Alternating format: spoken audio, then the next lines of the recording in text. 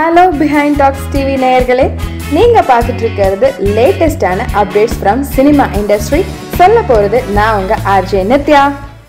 North இந்தியாவில் அதிக சம்பளம் வாங்குற ஹீரோ அப்படின்னு பார்த்தா பிரபாஸ் அவர்கள் நூற்றி ஐம்பது கோடி வாங்கிட்டு இருக்காரு சம்பளமா.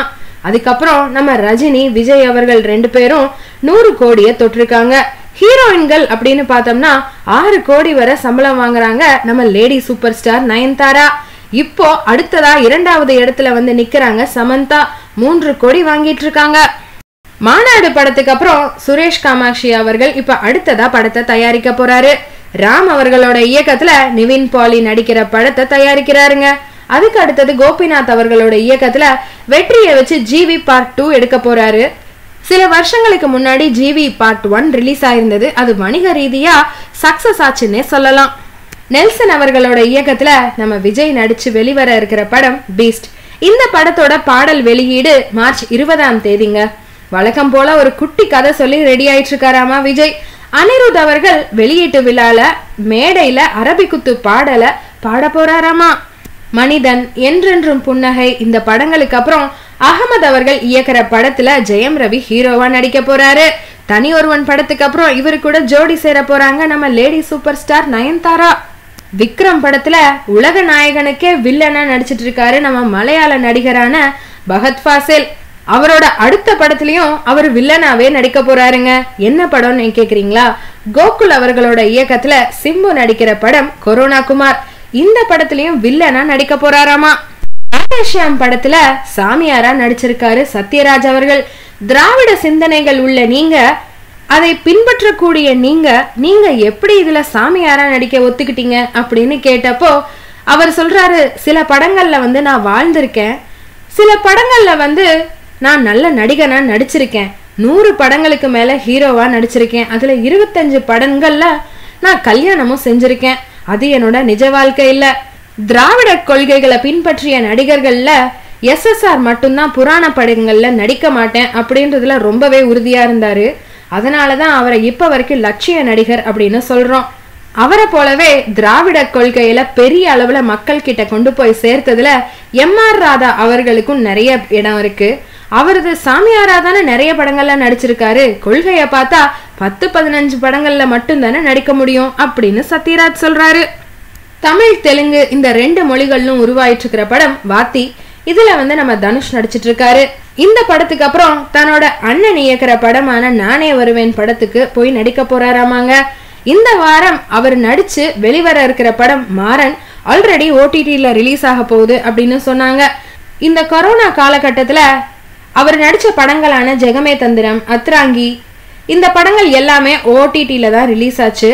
இப்போ இவரோட அடுத்த படமான மாறனும் ஓடிடியில் ரிலீஸ் ஆகிறதுனால தனுஷ் அவர்களுடைய ரசிகர்கள் பெரிய ஏமாற்றத்துல இருக்காங்க. அதான் இப்ப தியேட்டர்கள் எல்லாம் திறந்துட்டாங்களே தியேட்டர்லயே ரிலீஸ் பண்ணலாமே அப்படின்னு கேட்டதுக்கு இந்த படத்தை ஆல்ரெடி நாங்க வந்து வித்துட்டோம் ஓடிடிக்கு அப்படின்னு சொல்றாங்க. இந்த படத்தை தயாரிக்கிற சத்யஜோதி பிலிம்ஸ் கார்த்தி நடத்திட்டு வர உழவன் ஃபவுண்டேஷன் சார்பில் உழவர் விருதுகள் இரண்டாயிரத்தி இருபத்தி இரண்டு அப்படின்ற ஒரு தலைப்புல விருது வழங்குற விழா ஒன்று சென்னையில நடந்ததுங்க. இதுல இயற்கை விவசாயம் நீர்நிலை பாரம்பரிய விதை மீட்பு சந்தைப்படுத்துவது இந்த மாதிரி நிறைய கேட்டகரிஸ்ல விவசாய பெருமக்களுக்கு விருதுகள் வழங்கி பாராட்டி கௌரவிச்சிருக்காங்க. விருதுகள் பெற்றவங்களுக்கு ஒரு லட்சம் ரூபாய் காசோலையும் கொடுத்திருக்காங்க. ஆறு விருதுகள் வழங்கப்பட்டது. இந்த நிகழ்ச்சியில கலந்துகிட்ட நடிகர் சிவகுமார் என்ன தெரியுமா சொல்றாரு? இவர் பிறந்தப்பயே இவரோட அப்பா அதாவது இவர் பத்து மாத குழந்தையா இருக்கும் போதே இவருடைய அப்பா வந்து தவறிட்டாராமா முழுக்க முழுக்க அம்மாவோட அரவணைப்புல தான் இவர் வளர்ந்துருக்காருங்க. அப்போ அம்மாவே தனியாளா நின்று விவசாயத்தை செஞ்சு இவங்களை காப்பாத்தி வளர்த்திருக்காங்க. இதை சொல்லும்போது அவர் பயங்கரமா தேம்பி தேம்பி அழுதுகிட்டே ஒரு உணர்ச்சியோட சொல்லியிருக்காரு. அதாவது விவசாயம் விவசாயி அப்படின்னாலே பொதுவாகவே வந்து ஏழ்மை நிலை எலும்பும் தோளுமா இருப்பாங்க அப்படின்றதை எல்லாம் மாத்தணும். படித்த மாணவர்கள் வந்து விவசாயத்துக்கு வந்து இந்த விவசாய முறைகளை நவீனப்படுத்தணும் அப்படின்னு சொல்றாரு. இன்னும் சொல்ல போனா பெண்கள் தான் விவசாயத்துல அதிகமான வேலைகளை செய்யறாங்க. இந்த மாதிரி நம்ம நாட்டோட விவசாயத்தை புதுமைப்படுத்தணும் அப்படின்றாரு. அவரை தொடர்ந்து நடிகர் சூர்யா வந்து இந்த உழவன் விருதுகள் அப்போ என்ன தெரியுமா சொல்லியிருக்காரு? நாம நிறைய விஷயத்த கத்துக்கிறோம் ஆனா உற்பத்தி அப்படின்றத பத்தி நாம இன்னும் தெரிஞ்சுக்கவே இல்லை. நம்ம குழந்தைகளுக்கு விவசாயம் பத்தியும் அதை பத்தின வழிமுறைகளை பத்தியும் நம்ம கண்டிப்பா சொல்லி கொடுக்கணும். முடிஞ்ச வரைக்கும் நம்ம பக்கத்துல இருக்கிறவங்க கிட்ட வந்து பொருட்களை வாங்குங்க. வாங்குற அந்த பொருட்கள்ல எவ்வளோ பர்சன்ட் வந்து விவசாயிக்கு போகுது அப்படின்றத கண்டிப்பா தெரிஞ்சுக்கோங்க அப்படின்னு சொல்றாரு. அவரை தொடர்ந்து நடிகர் கார்த்தி இந்த விருதுகள் வழங்குற விழால இன்னும் நிறைய விஷயங்களை நம்ம கூட பகிர்ந்திருக்காருங்க.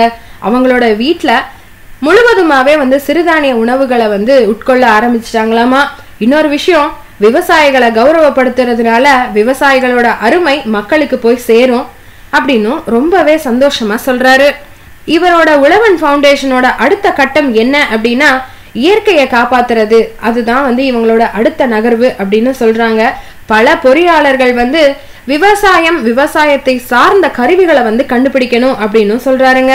இதெல்லாம் தான் உழவன் ஃபவுண்டேஷனுடைய அடுத்த கட்ட நோக்கம் அப்படின்னு கார்த்தி சொல்றாரு. விஜய் டிவில ஒளிபரப்பான குக் வித் கோமாளியில புகழ் வந்தார் இல்லையா? அவர் காமெடியில நம்மளை எல்லாரையும் சிரிக்க வச்சாரு. இப்போ படங்கள்னு பார்த்தா சந்தானத்தோட சபாபதி அஸ்வின் அவர்களோட என்ன சொல்ல போகிறாய் அஜித் அவர்களோட வலிமைன்னு இந்த மூன்று படங்கள்லயும் காமெடி ரோல் பண்ணியிருந்தாரு. ஆனா அதுல அவர் கொடுத்த காமெடி ரோல் பெருசா எடுபடலைங்க. நம்மள சிரிக்கவும் வைக்கல அப்படின்னு தான் சொல்லணும். அதனால அவருக்கு மேல நிறைய விமர்சனங்கள் வந்த வண்ணம் இருந்தது. இப்போ அதுக்கு அவர் ஒரே ஒரு பதில் சொல்லியிருக்காரு. என்ன தெரியுமா? எதுலயுமே நாம தோத்து போறதே இல்ல. ஒன்னா வெற்றி கிடைக்க போகுது. இல்லைன்னா அதுல இருந்து நம்ம எதையாவது கத்துக்க போறோம் அப்படின்னு சொல்லியிருக்காரு.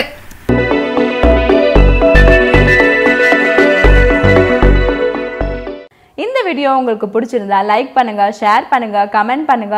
மறக்காம சப்ஸ்கிரைப் பண்ணிடுங்க. அந்த பெல் பட்டனையும் கிளிக் பண்ணிடுங்க.